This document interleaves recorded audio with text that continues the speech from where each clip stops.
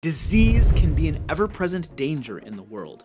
It can have such a massive impact that some undertake special training just to resist it, especially those who practice the stoic traditions of monkhood or the grandiose oaths of the paladin. So why are sickness and disease underused in D&D? Simply put, the mechanics for them suck and in fact are mostly non-existent, and rarely get you. But disease can be an amazing element to feature in your games. It can be a hazard for characters to overcome in an adventure. It can be a core component of the setting, with the threat of a particular disease constantly looming over the world, or even be the basis of a campaign. Regardless of how you use disease, it adds an element of danger that can't be gained in any other way. That of an unseen terror that slowly but efficiently infects and kills. Fast-moving, lethal diseases diseases might elicit fears of divine retribution, while slower moving, persistent diseases might warp an entire culture. Entire factions might even be dedicated to stopping a particularly significant disease or helping it spread. You see, sickness and disease are cool. They can make for an awesome game, adding an element that is rarely featured in D&D. However, there are also some pitfalls to using disease. So today we're gonna be looking at five mistakes to avoid when implementing disease at your game and what to do instead. In essence, we're going to be walking through how to use diseases and illnesses and infections better in your game. Also, to save you the trouble of taking notes, fleshing out specific rules, and creating your your own tables, our new disease system, Infection and Illness, a treatise on disease, is available in the July 2022 issue of Lair magazine, which all DM Lair patrons get. Number one, not having disease worsen over time. Many times in D&D, if someone gets sick, they have specific mechanical disadvantages that are static. That, that is, they don't change. They don't get worse. They just are. However, a key hallmark of disease is that it worsens over time. This worsening is typically combated by the infected person's immune system, medicine, magic, and other means, but it is always a threat. So you should have different stages for your diseases. Something happens when the person is infected, and then the disease progresses, getting worse and worse. In our new disease system, for instance, if someone is exposed to the disease prickling fur, upon initial infection, the person progresses to stage one of the disease. And then because prickling fur is a mild disease, we'll talk more about disease severities a little bit later, every week there is a chance that the disease will progress to the next stage. And of course, each stage of the disease gets progressively worse and has increasing disadvantages. These disadvantages are often mechanical, that is, they affect the character's ability to function well in the game,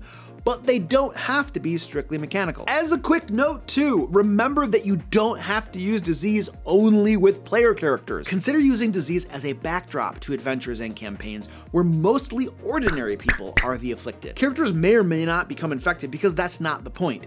Instead, the point is that you are running an adventure or campaign that features disease as a driving plot point. Finally, if a disease progresses too far, it should become life-threatening, except in the case of the most most minor illnesses. Number two, not having disease spread. This is something else we often ignore. Someone gets sick and it often ends there. However, another hallmark of disease is that it spreads. Sometimes the spread of disease often runs unabated for long periods, often forever in the cases of naturally occurring diseases present in a particular region. So you should have some mechanic built in that addresses how diseases spread. In our new disease system, for instance, we've broken diseases up by their transmission types, airborne, insect-borne, waterborne, and direct contact. And then the route of transmission determines the rate of random spread, with airborne having the greatest chance of infecting others and direct contact the least. Now, there's a chance that your characters will scoff at becoming infected with some disease because they are just too minor and they have crazy godlike powers. However, Remember that PCs are not the only people in the game world. What happens if the characters are nonchalant about the infirmities they carry because the mechanical drawbacks just aren't that bad? But as they jaunt across the game world, they are spreading those diseases to the general populace. A minor disease for a PC could be something dire for a commoner. So don't forget to consider that sort of thing and build in complications and consequences in your games that account for this. Fun fact, I was recently in a game run by my team member Zach, you may know them as Goliath Cleric, and I was playing a monk named Barbaric who was immune to disease. But that did not stop Zach from having some of the populace in a large city become infected infected by my monk, who, though he was immune, was still a carrier of the pathogen. Of course, my monk Barbaric didn't care that other people got infected from him, which, which led to consequences down the road. He may have been totally forsaken by his lawful good deity and uh, forced to follow a dark, dark path instead. By the way, when you become a DM Lair patron and get Lair Magazine, our new disease system isn't the only thing you'd be getting.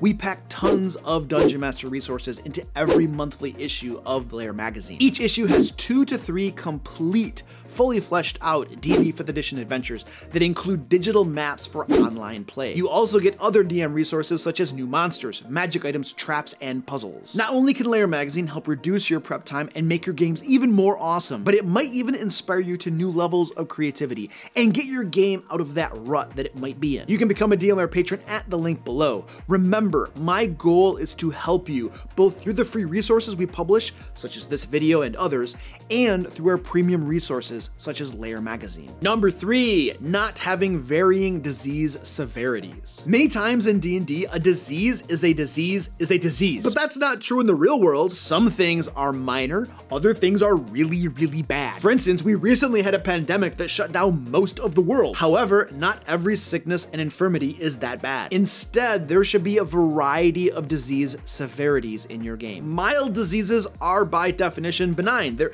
they're common, easily treated with proper knowledge, and have relatively mild symptoms that don't typically threaten someone's life. Often they will go away on their own without treatment, though it can be an unpleasant experience getting to that point. On the other hand, life-threatening diseases are the most serious diseases that one can encounter. Without immediate treatment, the average person will likely die soon after showing their first symptoms. Resilient people, such as PCs, can withstand it for a while, but will suffer extreme debilitation while doing so. For instance, in our new disease system, we've broken down diseases into three severities, mild, moderate, and life-threatening. And of course, the mechanical effects of the different severities are different, ranging from mild to really, really bad. Imagine that! Also, the progression varies by severity. Mild and moderate diseases check for progression to the next stage once a week. However, life-threatening diseases require a daily check, and there are not multiple stages.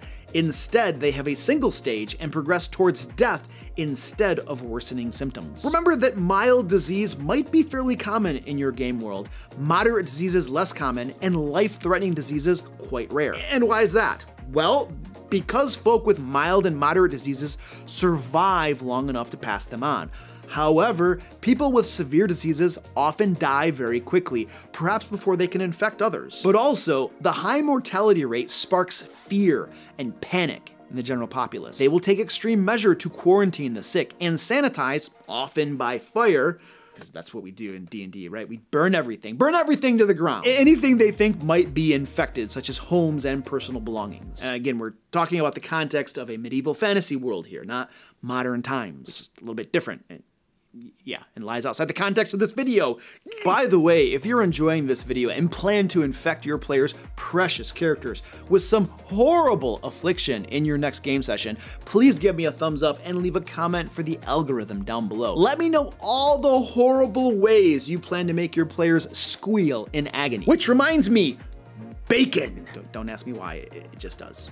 Number four, making treatment too easy. In D&D 5th edition, Lesser Restoration is the fix-all, the cure of everything, the healer of all disease. And almost every group, by the time they reach level 3, is going to have at least one character that can cast Lesser Restoration. And if you roll with this and allow Lesser Restoration to cure any and all diseases, it will render all diseases inconsequential for the characters. One quick little spell, and boop, you're healed. Now, Lesser Restoration is hardly the only spell that can treat disease and sickness, but it is a suitable benchmark to gauge the effectiveness of other spells. My suggestion is to make treating and curing diseases more challenging. Otherwise, you're spending lots of game prep time to integrate diseases more only to have them be trivial and meaningless. Something your players might just ignore because it is easily overcome and cured. For instance, in our new disease system, I, know I'm talking a lot about it today, but we, we thought about all of these things. The effectiveness of lesser restoration is determined by the severity of the disease. Lesser restoration will cure most mild diseases that have not progressed to their life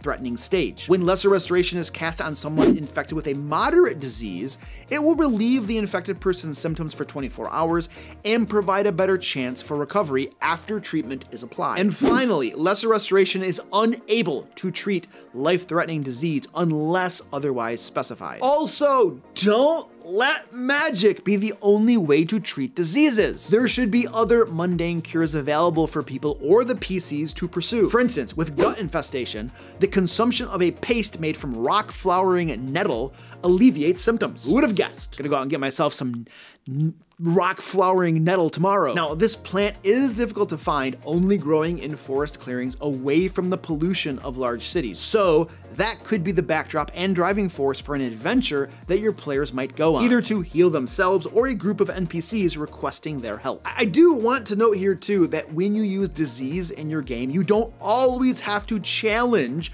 your players' characters with them. Th that is, the PCs might not be the ones getting sick. They are the heroes in the game and incredibly powerful, so it might not make sense that they are the infected, though they certainly could be, of course. Instead, Consider using disease and infirmity as a driving force for some of the adventures your player's characters might go on. Number 5. Ignoring disease after death. With one of my gaming groups, it is an ongoing joke that death heals all. In other words, whatever affliction you might have, exhaustion, poisoned, reduced maximum hit points, disease, etc., if the group doesn't have healing magic to fix it, they could just let the character die and then use Revivify. Because, you know, for some reason, that would completely heal them from whatever ailment they had. And this, of course, is a myth that is floating around out there, a myth that is completely false. In the case of a disease, someone who dies while infected should have a more difficult time coming back from death, and likely still be afflicted with the disease if they do return. In our new disease system, if an individual dies while infected with a disease,